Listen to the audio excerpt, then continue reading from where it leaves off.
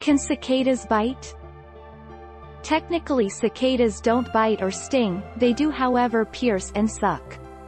They might try to pierce and suck you, but don't worry, they aren't vampires nor are they malicious or angry, they're just ignorant and think you're a tree. Drinking human blood would probably kill a cicada.